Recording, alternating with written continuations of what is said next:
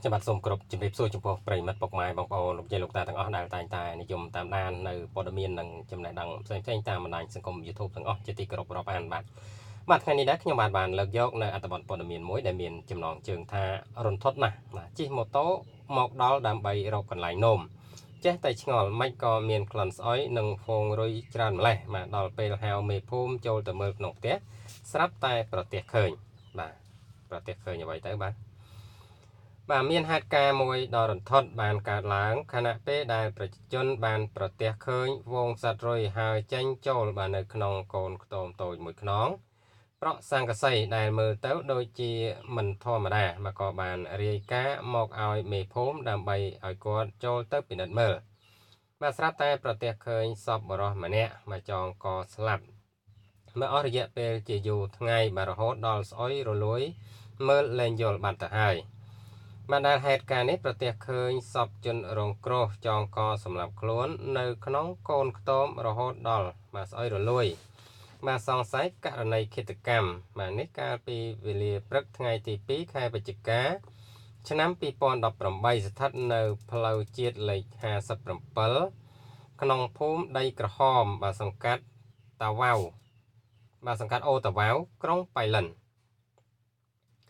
មកយោងតាមការឲ្យដឹងពីសំណាក់ខាងសមត្ថកិច្ចបានបញ្ជាក់ឲ្យដឹងថាដោយនៅចិត្តសាកសពបាទដែលបានចងកសម្រាប់ខ្លួននោះមានបន្សល់ទុកនៅអត្តសញ្ញាណប័ណ្ណមួយសន្លឹកដែលបានបង្ហាញថាជនរងគ្រោះនេះមានឈ្មោះថាឈុនឡា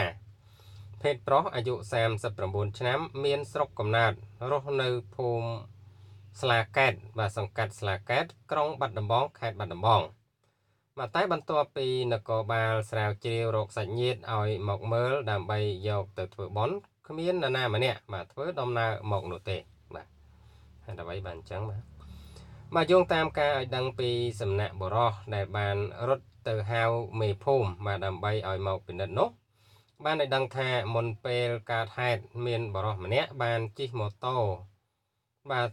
នៅតាមបណ្ដោយផ្លូវជាតិលេខ57ក៏ចុះទៅបត់ជើងតូចក្បែរកូនខ្ទមប្រក់សង្កសីបាទខាងលើស្រាប់តែប្រទះឃើញវងសត្វរុយបាទហើយចេញចូលនៅក្នុងខ្ទមនោះហើយក៏បាទមានក្លិនស្អុយបាទទើបប្រាប់ទៅមេភូមិឲ្យចុះមកពិនិត្យស្រាប់តែឃើញសាកសពបរមម្នាក់ចងកស្លាប់រហូតដល់បាទហើមស្អុយបាត់ទៅហើយបាទបើគិតទៅប្រហែលជារយៈពេលជិតមួយអាទិត្យទៅហើយ